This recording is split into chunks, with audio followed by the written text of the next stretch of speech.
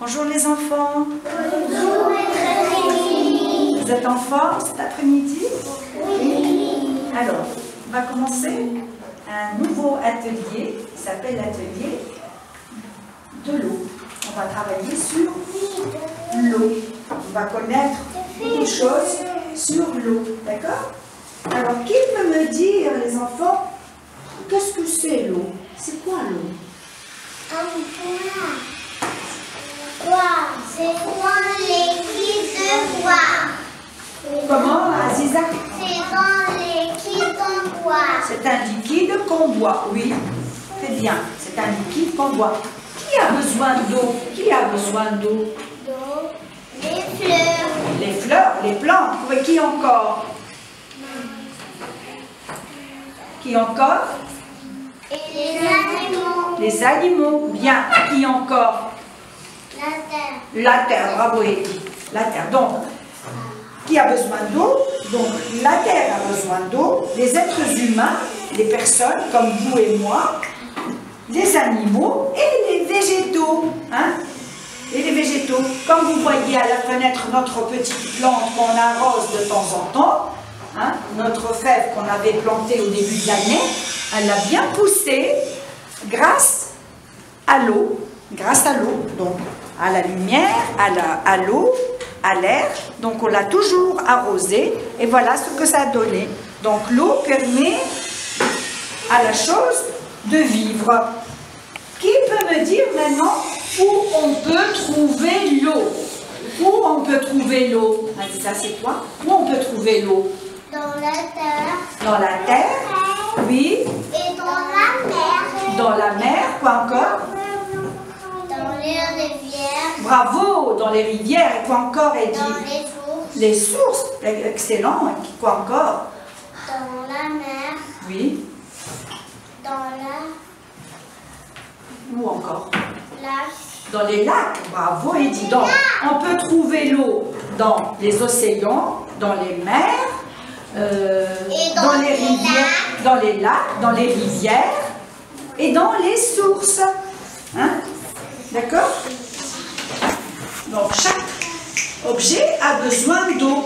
Les êtres humains, ils ont besoin d'eau. Les animaux, les végétaux, les plantes, les arbres, la, la terre, tout ça, on a tous besoin d'eau. Est-ce qu'on peut vivre sans eau, les enfants? Est-ce qu'on peut ne pas boire? Est-ce qu'on peut ne, ne pas boire? Pourquoi? Pourquoi si on ne boit pas, qu'est-ce qui nous arrive On tombe malade. Oui, et quoi encore On peut Tomber. On ne peut pas vivre sans eau. On ne peut pas vivre. Sans l'eau, on ne peut pas vivre. On ne peut pas se laver, on ne peut pas, on peut pas boire, on ne peut pas vivre. D'accord L'eau est vitale. L'eau, c'est la chose la plus précieuse et la plus importante dans la vie. Alors, cette eau-là, il faut la préserver. Il faut faire très attention à l'eau pour ne pas la gaspiller. Hein, D'accord?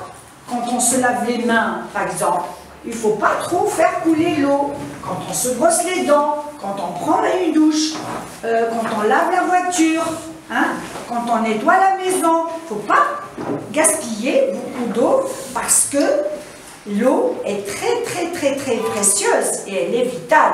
Sans eau, on ne peut pas vivre. Alors les enfants, on va faire une petite expérience. On a mis dans chaque gobelet un peu d'eau et on va essayer de faire quelque chose pour voir si l'eau elle est liquide ou elle est dure. On va voir si elle est liquide ou elle n'est pas liquide. On va commencer. Donc je prends le verre et je vais le verser de cette façon et je regarde. Allez, allez-y, faites-le. Allez, chacun verse de l'eau dans l'autre verre, dans l'autre gobelet qui est vide. On verse. Voilà.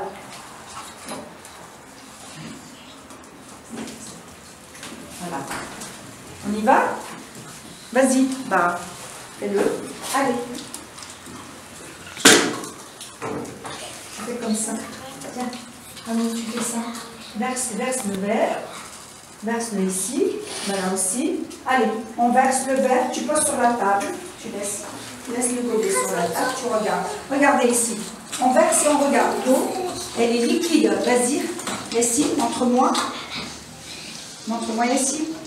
Voilà. Tu vois, l'eau est liquide. Tu vois Donc l'eau est liquide. C'est pas grave, c'est pas grave les enfants. Scandale, ça va? Alors qu'est-ce qu'on remarque ici? Quel- Comment est l'eau les enfants? Comment elle est l'eau? Vas-y. Comment est l'eau? Vas-y Sarah. Comment est l'eau? Vas-y, dis, tu me montres. Verse-la. Verse-la dans l'autre gobelet. Verse cette eau dans l'autre gobelet. Yasmine aussi, vous faites la même chose. Allez, on y va. On y va. Comment, comment vous la trouvez l'eau Elle est dure ou elle est liquide Hein Comment elle est l'eau Elle est liquide. Est-ce qu'elle peut être dure Oui. Comment Eddie Est-ce que tu peux me dire Comment elle peut être dure On met le, de l'eau dans le, dans le congélateur. Bravo, excellent. Donc quand on met de l'eau dans le congélateur comme ceci, ça devient comment Touche. Comment elle devient cette eau qu'on a mis dans le congélateur Bien. Glace. Voilà, elle devient glacée. Alors, ça contient, ça devient glacé. Touche là, touchez les enfants. Voyez les enfants, l'eau, comment elle peut être dure après, si je la mets dans le congélateur, elle va devenir glacée. Glacé. Elle là. Maintenant, si je mets la bouteille au soleil, comment elle va devenir? Comment elle va devenir Hein? Liquide. Liquide, bravo Emna. Donc si je mets la bouteille au soleil, hein, si je mets la bouteille, la, bou- la bouteille congelée avec des glaçons au soleil, l'eau va redevenir liquide, elle va fondre. Donc cette eau va fondre, n'est-ce pas? Est-ce qu'elle a un goût l'eau? Est-ce qu'elle a un goût? Non. Est-ce que quand vous buvez de l'eau, est-ce qu'il y a un goût? Non. Est-ce qu'elle a une odeur? Non. Est-ce qu'elle a une couleur? Non. Non, elle n'a pas de couleur. Et quand, est-ce qu'elle a une forme quand je la verse dans un gobelet Oui. elle, a la- elle prend la forme du récipient. L'eau prend la, fer- la forme d'un récipient, du gobelet, d'une casserole, d'un verre, et ainsi de suite. D'accord? Vous savez, les enfants, que la terre, que la terre est recouverte d'eau. Elle contient 72% d'eau. Il y a beaucoup d'eau sur la terre, vous voyez Alors, elle se trouve dans les océans, dans les grandes mers. Parce qu'il y a la mer, la mer elle est plus petite que l'océan. Dans les océans et les mers, donc elle n'est pas sucrée l'eau de la mer et des océans, elle est sale, salée, elle contient un peu de sel. Est-ce qu'on peut boire de l'eau avec du sel? Est-ce qu'on peut boire l'eau de, de- de mer? Est-ce qu'on peut boire l'eau de mer, les enfants? Est-ce qu'on peut boire l'eau de mer, Skander? On ne peut pas. Pourquoi? Parce que c'est salé. Ça contient du sel. On ne peut pas la boire. D'accord?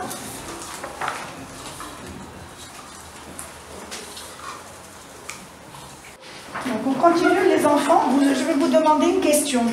D'où vient l'eau du robinet, les enfants? Le robinet. D'où vient, cette eau? De la terre, oui. De la source et de la rivière. Là, tu as une photo d'une rivière. La rivière, c'est une grande étendue d'eau qui est stoppée par un barrage. Hein voilà. Alors, l'eau de robinet provient soit des eaux souterraines, des puits et les sondages, comme ici. Voici, l'eau, elle vient des sondages et des puits. De là et de là. Hein Ça s'appelle les sondages et les puits. On les trouve aussi, les sondages, dans les jardins, avec lesquels on arrose les plantes. D'accord? Après, cette eau, on va voir cet exemple. Cette eau, elle est envoyée de la rivière, elle est envoyée dans une station de pompage de la nappe phréatique, la rivière nappe phréatique. Elle est envoyée ensuite dans la station de pompage. D'accord? Pourquoi elle est là? Pour travailler cette eau qui vient des rivières et des sources pour la rendre potable. On va la travailler dans une usine qui s'appelle l'usine de potabilisation.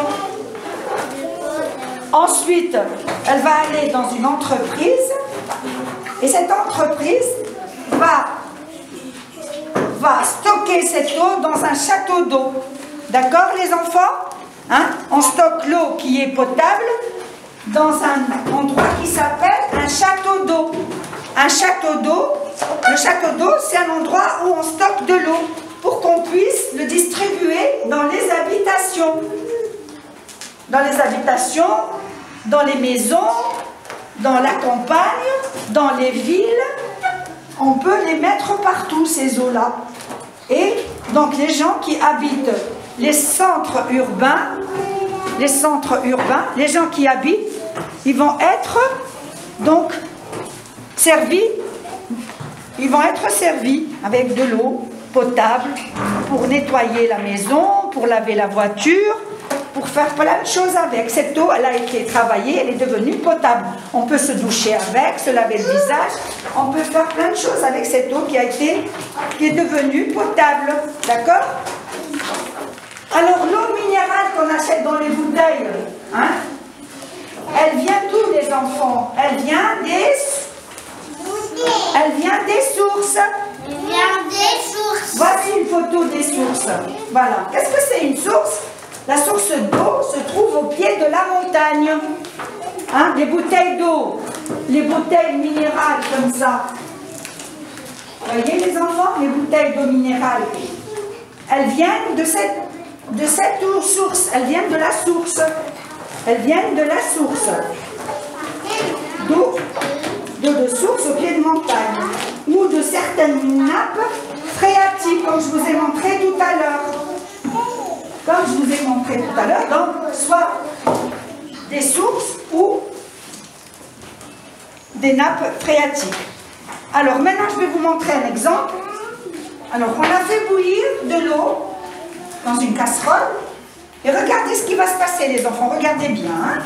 Donc, on a couvert l'eau bouillie avec le couvercle qui est froid, qui, qui n'a pas été chauffé. Et voilà ce qui se passe. Qu'est-ce qu'on va trouver? Regardez. Voyez, qu'est-ce que c'est ça? C'est des gouttelettes d'eau. C'est des gouttelettes d'eau. Qu'est-ce que c'est? C'est des gouttelettes d'eau. Et ça s'appelle comment? Ça s'appelle la condensation de l'eau. Donc on a fait bouillir de l'eau dans la casserole, on a placé une plaque de métal bien froide au-dessus de la casserole et on observe qu'il y a des gouttes qui se forment sur la plaque d'eau. D'accord Alors quand la vapeur d'eau rencontre un air froid, le dessus de la casserole se transforme en gouttelettes. Et ça s'appelle la condensation. Répétez les enfants. La condensation. Bravo Eddy. La condensation. Répète Yasmine. Condensation. Aziza, condensation. La condensation. C'est des gouttelettes d'eau. C'est comme aussi le nuage. Vous savez, quand il y a un nuage et qu'il y a après une fabrication, elle se fait par le nuage et c'est la pluie qui tombe. D'accord?